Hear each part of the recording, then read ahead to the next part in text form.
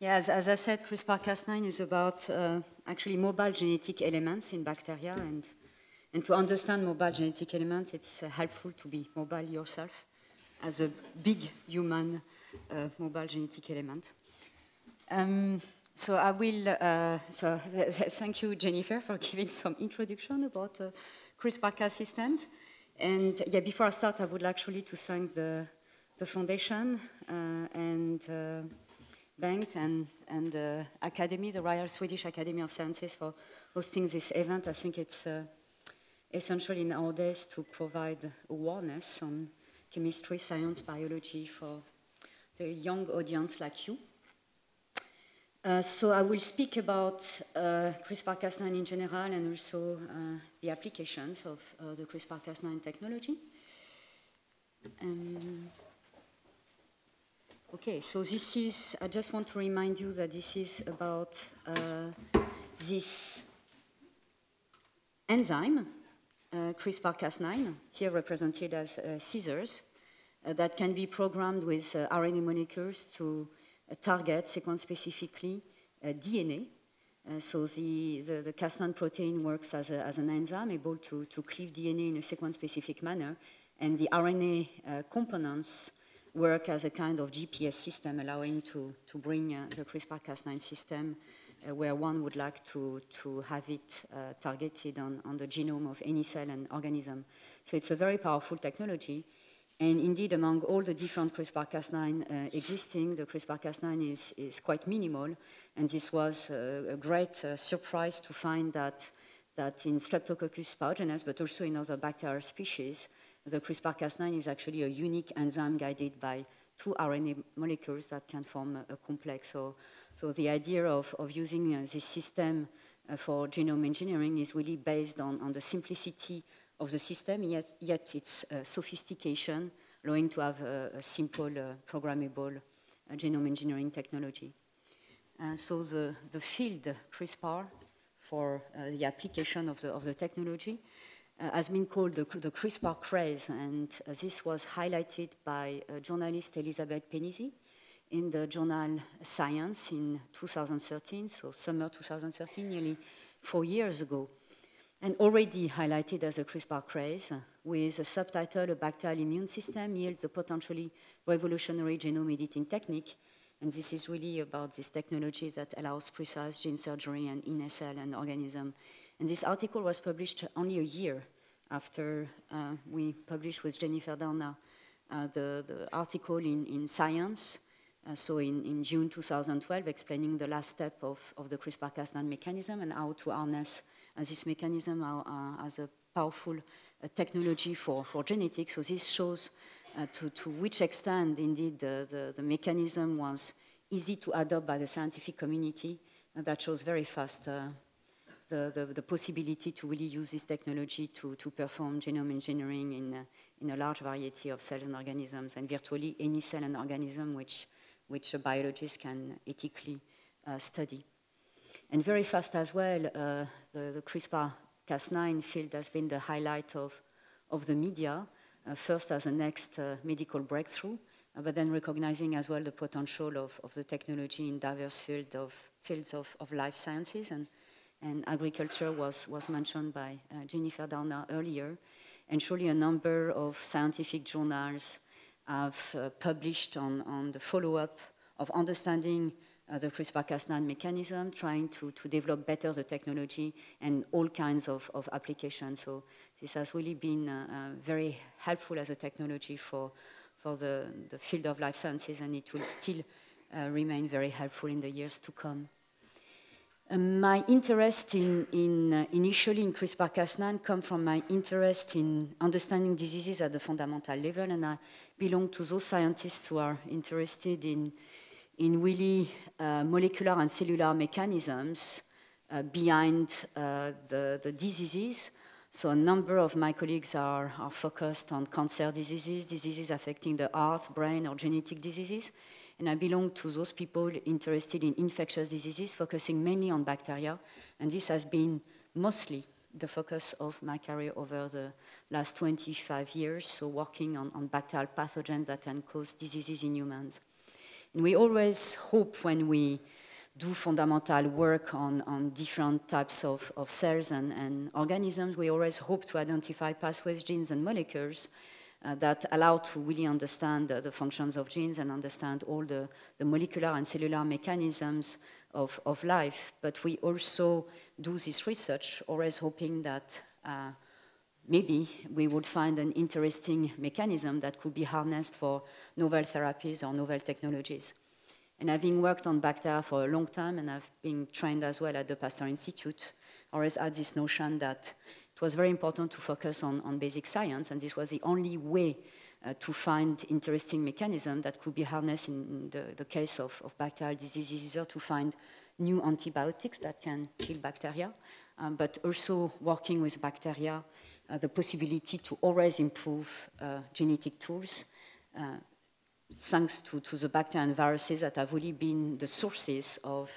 multiple enzymes that have been used in molecular biology and genetics over the last uh, decades. Now, having said this, I just also take the opportunity to say that in my laboratory, we don't work only on CRISPR-Cas9, we work on, on uh, RNA and protein regulatory mechanisms, uh, allowing to understand how bacteria survive and, and in their environment and how they can cause diseases always having in mind that it is critical to continue to work on, on bacterial infectious diseases, since it is the leading cause of death in children and adolescents worldwide, and the antibacterial resistance uh, poses still a major health threat. And, and this has been a, a field of, of, interest highlighted recently by the United uh, Nations. Now, having said this, genetics is really uh, critical in laboratories uh, for understanding functions of genes and, and with regard to the, to the medical field, for example, to, to really uh, uh, find new targets for, for therapeutics and also other purposes. And I just would like to, to give you an idea of where CRISPR-Cas9 can be placed in, in the history of genetics towards gene editing. And surely I mention only uh, selected uh, uh, breakthroughs the 19th century has been uh, very critical for fundamental genetics to establish rules of genetics, with Darwin on the origin of species, Mendel on the segregation of alleles, and Friedrich Miescher who isolated the DNA in 1871. Then the mid uh, last century was critical to show that the DNA was carrier of genetic information, to also determine the structure of the allelics of DNA, and to also reveal the genetic code, and, and this was very exciting with the possibility to really uh, understand the, the, the, code and, and also the need to develop technologies that would allow to, to target genes and, and understand uh, their, their expression and, and, functions. And this came really in, uh, starting in the, in the 60s and, and, 70s with a number of scientists interested at the time in, uh, in macrobiology, working with bacteria. I mean, at the time, these were the, the main organisms that one could work with uh, genetically speaking. I would like to, to mention a, a quote from Jacques Monod, a French uh, macrobiologist working at the Pasteur Institute, um, which uh, actually uh, Jacques Monod, together with François Jacob and, and Wolf, uh, received the, the, Nobel Prize in 1964 uh, regarding very interesting concepts of, of proteins with enzymatic properties in bacteria, uh, the, the, the, notion of, of genes organized as, uh, as uh, operons, the notion of, of, of also RNA molecules that could have regulatory functions, not only being the intermediate between the DNA and proteins, but also having uh, regulatory function. And uh, this research having been done in, in bacteria and, and also in, uh, in, uh, in trying to understand how bacteria defend themselves against viruses of bacteria, which in, the, in this case were called uh, lysogenic phages. I just want to mention this because this is exactly what CRISPR-Cas9 is about. It's an RNA and protein-mediated system in bacteria. Uh, it's all about uh, interactions between bacteria and phages, and this is just to show that uh, 45, 40 to 50 years later, you can take, uh, um, uh, how do you say, uh, interesting uh, uh, um, breakthroughs that, that were highlighted in, in the past and still dig into the, the details of, of certain types of topics which may not sound that exciting or fashionable, but you can still find very interesting points. And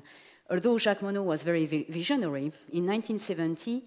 he wrote a, a, book entitled Chance and Necessity, where he was quoting modern molecular genetics offers us no means whatsoever for acting upon the ancestral heritage so as to improve it with new features to create a genetic superman. On the contrary, it revealed the vanity of any such hope. The genome's macroscopic proportions today and probably forever rule out manipulation of this sort.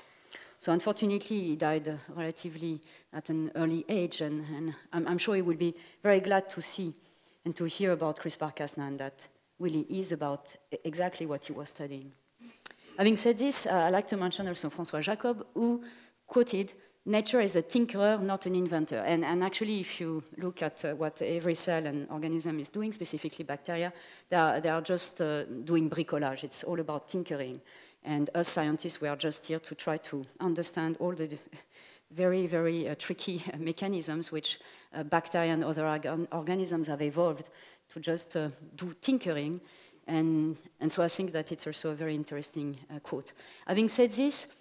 uh, the basics for the genetic tools really were developed in the mid-70s with the discovery of, uh, of a number of enzymes originating from bacteria, also from viruses, and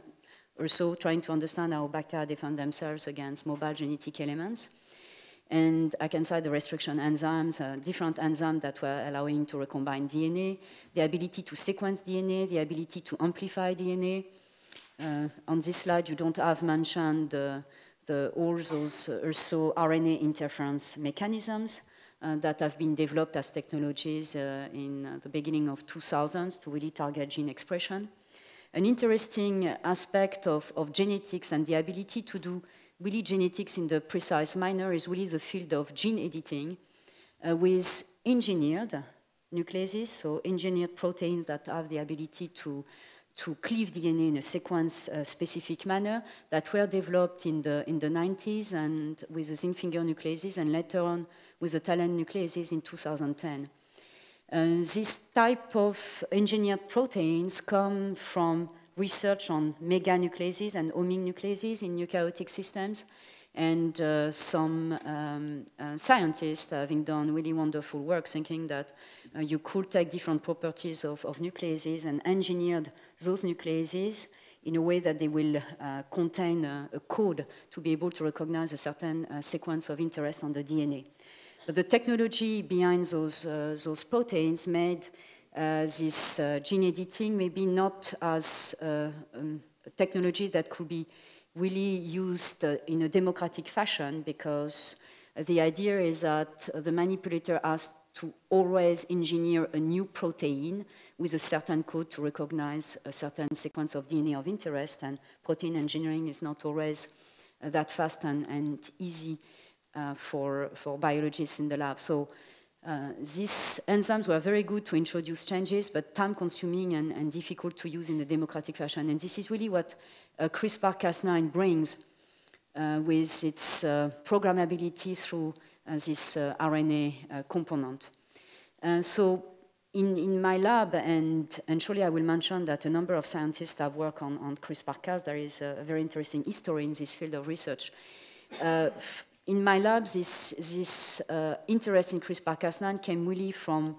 uh, the, the, focus of my laboratory when I uh, started my independent career as a principal investigator, uh, the focus on working on, on specifically Streptococcus pyogenes, that is a, a human pathogen responsible of uh, a large number of diseases, uh, from mild infections to more severe infections. And here you can see the cocci, so Streptococcus pyogenes as, as, a, as a shape uh, uh, cocci. So here they are colored in red for the purpose of the picture, and they are invading uh, human epithelial cells, pharyngeal cells, uh, colored in, in green for the purpose of, of the picture. We are interested in different types of mechanisms, always RNA and protein-based, uh, allowing to understand how bacterial pathogens can attack the human host, and to a certain extent how the human host can defend itself against bacterial uh, pathogens. Uh, so we focus on protein quality control, the class of small regulatory RNAs, and uh, other regulatory mechanisms that allow to understand how virulence factors and other factors are uh, produced in the bacteria and allowing the bacteria to react uh, very fast with their environment, uh, which leads to, and I would like to refer to the talk of Frances this morning, that leads to a lot of evolution considering the large variety of the bacterial world with a large variety of bacterial species which have been also very important for the evolution of the CRISPR-Cas9 system, and constant uh, battle of the bacteria uh, with uh, the viruses of bacteriophages, but with other types of, of uh, environments, uh, specifically those encountered in, uh, in the human host, such as osmotic stress, pH changes, heat shock, and other types of uh, host immune uh, responses. So we are very much interested in everything that is uh, the dynamic of uh, regulation of gene expression in bacteria.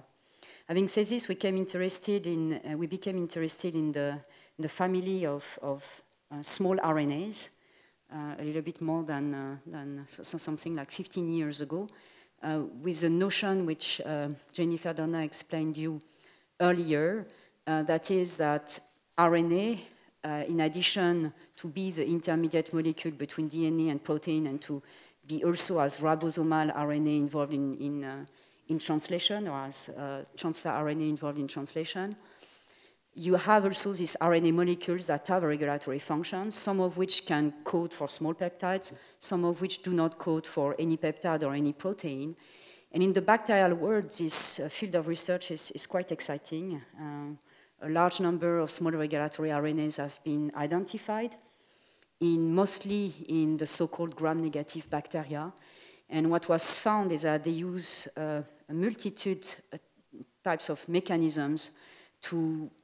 affect gene expression by directly interacting with messenger RNA, uh, forming antisense uh, structures. And by this interaction with the, the messenger RNA uh, that can uh, code for proteins, they can either enhance or or uh, inhibit uh, the, translation, the, the, stability of the messenger RNA. And they can also interact with the messenger RNA to activate or inhibit uh, translation via different means. They can also interact directly with proteins to activate their function or sequester uh, them from, from their function. When we started to work on, on CRISPR and, and the small RNAs, uh, there was a type of mechanism that uh, was not yet described in bacteria, uh, which will be small RNAs that can uh, activate the expression of another small RNA, so really through a direct interaction, and this is what CRISPR-Cas9 um, brought. And also the fact uh, that small RNAs can interact directly uh, with DNA and affect the fate of this DNA, and this is really what CRISPR-Cas biology brought in terms of, of new concept, new dogma. And we were kind of interested in, in picking up uh, uh, uh, our, I would say, a unique bacterium Streptococcus pyogenes in having the chance to, uh, to really highlight new mechanisms. And I'm just going to, to give you a little bit the beginning of how we, we came to CRISPR-Cas9, and then I will go very fast. But in principle, uh, we were working in my lab on, on, some, on some small regulatory RNAs for which we found uh, biological function in, uh, in influencing uh, the, the, potential of the bacterium to cause diseases via direct regulation of, of gene, of expression of genes coding for virulence factors. And a little bit more than uh, 10 years ago, we were interested in finding uh, new small regulatory RNAs in Streptococcus pyogenes and have an idea of, of the panel of these molecules that could have regulatory functions. So we, we uh, approached the, the problem by using uh, bioinformatics that allowed us to highlight a, a, number of sequences on, on the genome of Streptococcus pyogenes that potentially could code for RNA molecules, which maybe could have interesting biological functions. And we focused on, on uh, a molecule uh, that uh, we called at the time uh, SPRNA49 that was uh, renamed tracer RNA. And what we found is that this RNA molecule was actually encoded in the vicinity of a gene on the genome of Streptococcus pyogenes that was already highlighted at the time as, as a gene encoding a CRISPR system-related protein containing two nuclease domains from Streptococcus thermophilus, and this is really about this Cas9 protein that had different names uh, before uh, the nomenclature uh, was agreed on with, with uh, the terminology Cas9. Uh, but this is really about this protein that contains indeed two nuclease domains uh, to, to cleave the DNA. Having said this, we were focusing mainly on, on tracer RNA, with an, as an RNA molecule being expressed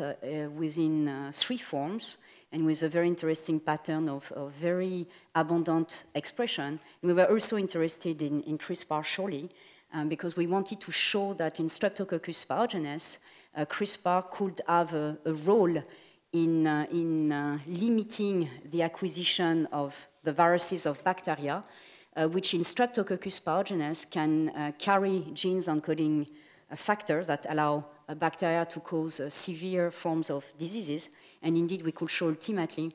that uh, in this bacterium, CRISPR uh, can limit in a way the acquisition of genes uh, that are important for the severe aspects of diseases caused by Streptococcus pyogenes through limiting the acquisition of, of these genomes of, of viruses. So in principle, we were also interested in CRISPRs, but we were in a way uh, working on this tracer RNA molecule and working on these CRISPR RNA molecules independently. Uh, until we, we came to the point that it was important to look at, at the interaction of, of those two, uh, two components. Uh, having said this, CRISPR really brought us to this, uh, to this uh, another type of, of infection biology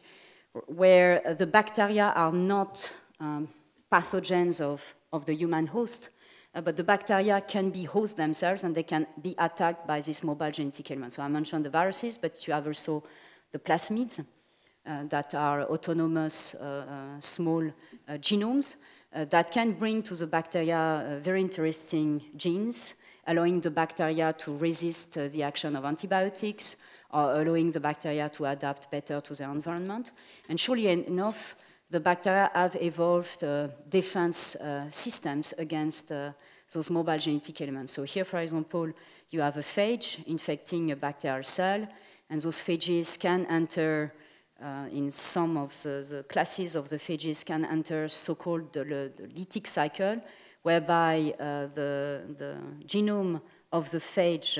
uh, can be injected into the bacterial cell, uh, the invading DNA will replicate to form uh, phage particles that will kill a bacterial cell and propagate to kill other bacterial cells. And here you have the case where uh, the phage can enter so-called lysogenic cycle. So in this case, they are called temperate phages, and their genomes can be inserted as prophages into the genome of the bacteria. So in this case, the viruses bring new new traits, new genetic traits to the bacteria. But in either cases, or also when bacteria are attacked by plasmids or transposons that are mobile genetic elements, uh, they have defense systems that allow them to, to attack uh, those mobile genetic elements. So you have different types of defense systems, most of which are considered as innate immunity, so it's in reference to innate and adaptive immunity in uh, eukaryotic organisms. And for example, the the restriction enzymes, so these enzymes that are uh, used to really cleave DNA and clone DNA, those restriction enzymes have been identified uh, through really understanding uh, defense mechanisms in bacteria against viruses, so using restriction modification uh, systems. So you have uh, other types of innate uh, immunity existing in bacteria, and CRISPR-Cas is really the first and only adaptive immune system existing, not only in bacteria but also in archaea. It's adaptive because you have a first uh, recognition of the mobile genetic element prior to attack of the mobile genetic element. Uh, so Jennifer already explained you that uh, the system is composed uh, genetically um, by a CRISPR array uh, that is composed of, of short uh, sequences, here uh, highlighted in black, that are identical to one another, that are called repeats, so they are repeated in, in the genome, and they, they are interspaced by so-called spacer sequences that have as origins um, mobile genetic element sequences. And this CRISPR array uh, contains a, a, region upstream of, of, the array that allows this array to be uh, transcribed into a long uh, RNA molecule. And in the vicinity of this CRISPR array, you have a, a, series of genes that code for the protein components. So in principle, you have the proteins and uh, you have the, the CRISPR RNAs. And you have uh, three steps in the, in the immune system, so spacer acquisition, expression of the RNAs and the proteins, and then interference, whereby the system is able to really recognize a mobile genetic element and affect its maintenance. And so you have uh, first uh, recognition of, of the invading DNA uh, through CRISPR-associated proteins uh, that will recognize the invading DNA, cleave a portion of this invading DNA to insert it into uh, the CRISPR array at the level of the, of the leader sequence, uh, allowing to provide a memory of, uh, of this first infection with uh, the mobile genetic element. So this is a series of, of memorized uh, infections, these spacer sequences. Then you have expression of the system through, mainly here at this level, transcription of this CRISPR array into a long precursor CRISPR RNA molecule that will undergo maturation in the sense that this long molecule will, will be able to be cleaved and produce individual CRISPR RNAs uh, that can guide a complex of CRISPR-associated proteins uh, to the cognate uh, genome of the virus. So this is by recognition through uh, the memorized mark on, on the CRISPR RNA and uh, base pairing with uh, the cognate sequence on the invading genome of, of the virus. And ultimately, one CRISPR-associated protein of the complex will recognize this interaction and will be able to cleave the DNA of, of, the, of the virus, and this will be uh, uh, the, the, the, end for the, for the, possibility of, of, the, of the virus to, to replicate and to propagate and be maintained. Having said this, uh, there is a, a, very interesting history in the, in the field of, of the CRISPR-Cas um, biology. Briefly, I just want to mention this because it's important that um, you, you realize that uh, uh, surely uh, there are always a lot of, of scientists having been in, involved and, and bringing uh, different pieces in, in the puzzle. So 30 years ago, a, a Japanese group identified uh, this series of, of, repeats in the genome of E. coli, but they didn't have any idea about the functions of, of those repeats. And then at the end 90s, beginning 2000s, uh, some scientists showed that actually this CRISPR array uh, could be produced into RNA molecules of different sizes. They did so-called Northern blot analysis, and they found that actually this CRISPR could be really uh, RNA molecules of different sizes. So they saw that there was uh, uh obviously also cleavage of RNAs involved and activation of RNAs. And then bioinformaticians in the beginning 2000s, mid-2000s, found out that actually uh, in the vicinity of those uh, of this series of repeats you had genes encoding the CRISPR associated proteins uh, with uh, interesting features of proteins being very similar to proteins that have been identified um, um, prior to, to the Cas proteins, proteins that, that can interact with DNA and RNA or cleave DNA and uh, RNA. And then what was also found is that in, uh, in uh, this uh, series of repeats were interspaced by sequences that seem to be uh, constantly matching uh, sequences of viruses, plasmids, and transposons. And so, uh, as, as, Jennifer mentioned, the idea was that this system could be an interference system existing in bacterial archaea that would be RNA mediated, composed of RNA protein complexes, allowing really the bacterial archaea to fight the the, the, invasion of mobile genetic elements. And indeed, uh, so you have had, and actually I, I miss a lot of, of, of, uh, of, studies, but the group of, of uh, Horvaths and, and Moineau with uh, Barangou who showed in 2017, uh, in 2007, uh, sorry, 2007, working on Streptococcus thermophilus that CRISPR-Cas was an adaptive immune system in bacteria. And then a number of colleagues showing, and this uh, you already saw these slides, uh, the, the showing the, the, the, evolution of the CRISPR-Cas uh, systems in multiple types, mainly through uh, different uh, composition and nature of the CRISPR-associated genes. So I have the group of, of uh, Marafini and Sontheimer and, and John van der Ost and Stan Brands showing really that the, actually the type 1 was Michael Turns and, and, and Stan Brands and and uh, John Van Tao showing that actually the type 1 system could uh, target DNA, and then Marafini and Santamaria showed that also the type 3 systems could also uh, target DNA using different types of mechanisms, but always one CRISPR RNA molecule and a complex of CRISPR-associated proteins. So surely I miss the implication of, of a number of scientists uh, since uh, the last uh, 10 years. But what is really peculiar with, with the CRISPR-Cas9 system it's really its simplicity and the mechanism that was different from the mechanisms of the type 1 and type 3 system that were started to be studied when we uh, got interested in, in CRISPR-Cas systems.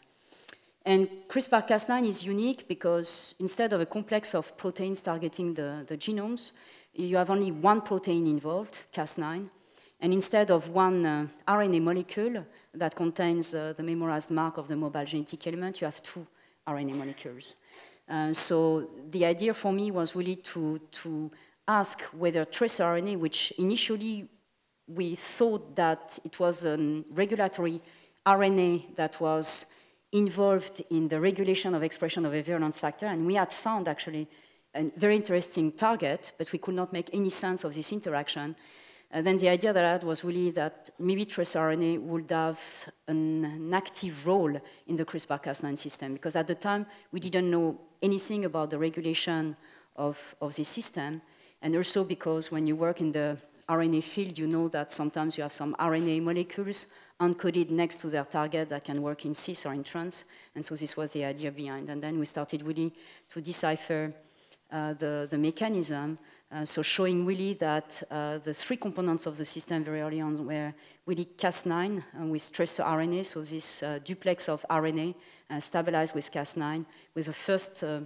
event that allows to really produce the ultimate mature CRISPR RNAs that can guide a Cas9 protein to the, to the targeting genome. So we, we did not work only on, on Streptococcus pyogenes, actually. Uh, very early on, we, we understood the diversity of this system in, in the bacterial world. And this is by looking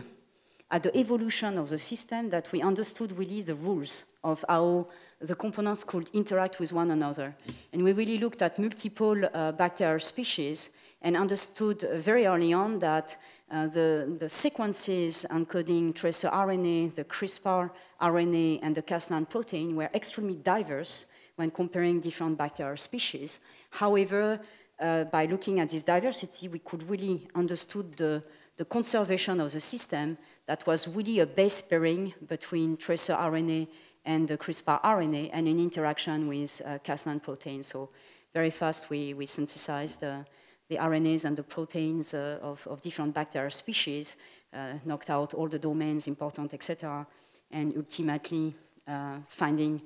what will be really the, the targeting mechanism that uh, surely was also on, on the DNA. So this is also something that we have shown that the RNA was not targeted, but the, the DNA. So then uh, um, Jennifer explained you a little bit the principles of how the system works. Uh, what is important to mention is that it's uh, really a, a unique uh, system, very flexible for the case of Streptococcus pyogenes. And this is where maybe uh, we were very lucky to, to work on this bacterium. Uh, as I said, this system exists in, in a number of bacterial species, and, and we and others have tried to to adopt uh, the, uh, this mechanism uh, not only on Streptococcus, of Streptococcus pyogenes, but originating from different bacterial species to, to try to adopt this mechanism in, in the technology CRISPR-Cas9 to target uh, uh, DNA in any cell and, and, organism. And it seems like the system from Streptococcus pyogenes works particularly well, thanks to the flexibility of, of this uh, protein that undergoes a, a, specific conformational rearrangement each time that the protein uh, will first bind to the, to the RNA molecules and then uh, recognize uh, the DNA and then cleave the DNA. Something that is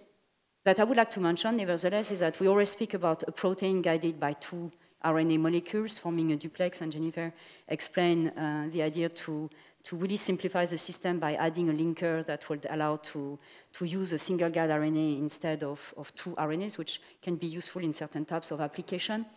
Uh, there is a, a, another component that is important for the system to work, is a mark on the DNA that is called protospacer adjacent motif. It's a short stretch of, of letters of DNA, nucleotides, NGG for the case of Streptococcus pyogenes.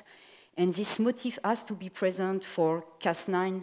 uh, system to, to work. And uh, the, the work of, of, of Sylvain Moineau, who published a, a, paper in Nature in 2010, was really critical uh, to, uh, came really to, to, to, come really to the conclusion of this, of this uh, uh, motif being important for CRISPR-Cas9 system to cleave DNA in a double-stranded, by, by, introducing double-stranded DNA breaks, except that at the time, tracer RNA was not known, so the exact mechanism was not really known. So when we, we really saw how the, the enzyme was working, and when ultimately uh, we really showed that, that uh, in a very simple manner, by just uh, exchanging a portion of this RNA molecule, one could really bring uh, this system to an RNA programmable technology. Uh, it, it, was clear, as it was working so well in the test tube, very efficient enzyme from Streptococcus pyogenes, uh, that it could really offer considerable potential for genome editing in cells in the six kingdoms of life for biotechnological, biomedical, and gene therapeutic purposes. And indeed, as I said, uh, already six months, a little bit more than six months after we published uh, um, with Jennifer the, the, the, paper in Science,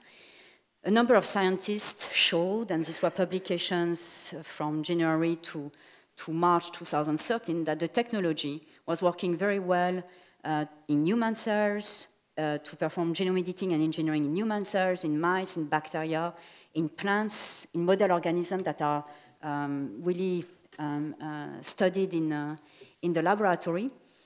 and uh, also monkeys and also organoids. Uh, with uh, a lot of efforts, I would like to mention, from the scientific community early on, from the Boston area, working on, on, on human cells with the groups of of Fang Zhang and, and, George Church. And, and very fast, actually, the entire world picked up on, on those uh, technologies to, to really uh, uh, see whether they could uh, um, uh, really uh, develop the technology for their own purposes to have a, a precise genetic um, tool for genome engineering. So everyone agrees to say that the technology offers a number of advantages. It's cheap and easy. It's very efficient. It's versatile. And it allows multiplexing in the sense that one can design different uh, programmable RNA molecules to target at once uh, different sequences on the genome. The, the, system naturally is already highly specific and a number of uh, improvements have been done to bring the technology to even more specificity. So the idea that if you use the technology, and it's an important point for the applications of the technology, is that you would really like to to modify a, a sequence of DNA of interest and, and, not any other sequences on the genomes. The system has low toxicity and a lot of effort from the scientific community to really uh, uh, develop delivery systems that allow to bring the technology to the right cell and the right organism for different purposes. So you can correct uh, uh, mutations, you can delete portions of genes, you can add new sequences at the site of interest, you can replace a certain gene or a certain sequence by another sequence of interest, and as I said, uh, it's really uh, useful and working in, in any type of, of, cells and organisms. These are just some aspects of the genetic toolbox. What is really fascinating with this um, enzyme is that it has, uh, uh, by its nature, domains that allow uh, really to cleave uh, the, the, the, DNA, but you can mutate uh, easily those domains, and this was shown also by the group of, of Sixnis, and you can bring the, the enzyme that cleaves uh, DNA into RNA programmable uh, protein that can target DNA but not cleave DNA. And then you can fuse to this uh, RNA programmable Cas9 different domains that allow here, for example, to activate gene uh, expression or to inhibit gene expression. So you have a lot of screens that have been developed using this aspect of the technology. You can also fuse to the, to the Cas9 protein some effector domains that allow to modify uh, DNA and to study epigenetic phenomenon. You can also mark uh, the DNA, so you can really do um, different tricks. So it has large applications in human medicine, in synthetic biology, in agriculture for the production of new crops. And I would like to, to finish by really mentioning the aspect in human medicine. So it's, it has a, an indirect and, and direct uh, implication. For an indirect application, it's, it's very useful to now be able to work with the right types, type of human cells. Uh, uh, we were always a little bit restricted, specifically uh, in my field of research, infection biology, in, in, working with always the same type of, of human cell, lines that are not always uh, the best uh, cells to work with, depending on, on, on the focus of, of diseases we, we are interested in, uh, in, in, studying. And here you can really target and, and, and, and work with uh, more types of, of cells, uh, having the right technologies that allows to understand functions of genes and unravel new pathways, also to engineer disease models, humanized disease models, uh, to, to understand better diseases. Uh, a lot of effort that have been uh, developed by the, the, the, the community to really have these new types of screenings for targets for therapeutics, to have new ways to validate new therapeutic targets and medicine on, and under development, and a bed-to-bench approach that is uh, with all the knowledge of, of sequences of genomes of, of patients and the idea of certain possible genetic uh, predisposition for certain diseases, the ability to go back to the bench and really test uh, the, the, mutation that may be causative for diseases. And, and the big challenge that is really to develop the technology as direct therapeutics for the field of human gene therapy, which is uh, specifically a field of, of, my interest. So what I want to say by this is that it's, it's, uh, it's a technology that is really helpful in, the, in not only in basic science, but also in biotechnology and, and pharmaceutical industry. And in addition to, to human medicine, it really allows to study the diversity of, of the world. And it's really important to, to be able in the future to break certain dogmas or, or to, to bring to new, new breakthroughs in, in the knowledge of biology. So we continue working on, on different types of mechanisms uh, in my lab, focusing on, on, on infectious diseases, hoping that CRISPR-Cas9 will be very helpful. Here, I just would like to finish by some acknowledgements. Um, indeed, re research in nowadays is, is, quite exciting, actually, because you have the possibility to, to really travel around the world, and, and, this is important to, at least for me, it has been very important. So uh, this, this uh, uh research in particular developed in Austria, Sweden, and Germany, and, and prior to Austria, Sweden, and Germany, I was working in the US and, and France, and I really encourage you to, to travel because you can really appreciate uh, different types of, of cultures, uh, cultures per se, but also cultures of approaching uh, science. Uh, you have the opportunity to meet great scientists. Sometimes you don't really realize that they may have uh, really, uh, um, how do you say, uh, affected your life, and you realize after a while that you knew that they were inspiring you, but, but so this aspect is, is very, very important. And also because in science, you need a little bit to always find uh, potentially new aspects of, of, of, of, topics, and, and it's important as, as a challenge, as, uh, I think, to move, and it's always very challenging to, it's a challenging field in, in, in general, but uh, specifically to,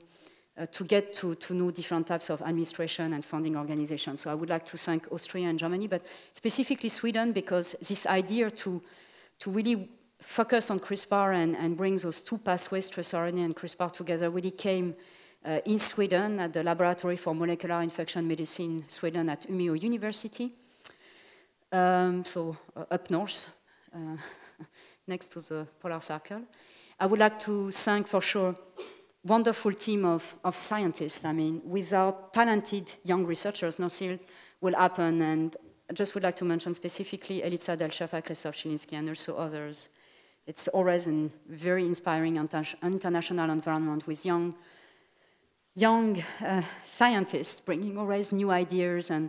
being always enthusiastic, so it's really refreshing. And my collaborators, a group of Jörg Vogel in Würzburg, Jennifer Donner Shorley with Martin Jinek, and Eugenie Kounin for studying the evolution of the system. This is my lab when they were uh, summer students last summer. Would like to mention ERS Genomics and CRISPR Therapeutics for conflict of interest, and, and some quotes are, um, one was lost, from Louis Pasteur. In the field, which was uh, 150 years ago, in the field of observation, chance favors the pre prepared mind. Uh, I think it's very true. Uh, let me tell you the secret that has led me to my goal. My strength lies solely in my tenacity, and I think this is important in science. Persistence in scientific research leads to what I call instinct of, for truth, and this is also important, and surely the last one I cannot read. Um, I, I, like also this one, and this is my last slide, it's from François Jacob. I say night science is because I was in Umeå, and most of the time it's uh, dark, but I mean, there is another part of, of the time where it's uh, full light. And I, think it's interesting, and again, it was uh, quoted uh, a number of years ago. Night science, a stumbling, wandering exploration of the natural world that relies on intuition as much as it does on the cold, orderly logic of day science. In today's vastly expanded scientific enterprise, obsessed with impact factors and competition, we will need much more night science to unveil the many mysteries that remain about the workings of organisms. And at least for my part, Sweden has been great. You go to the north, no one cares about whether you're alive or not. you can be quiet and you can focus, and it's great.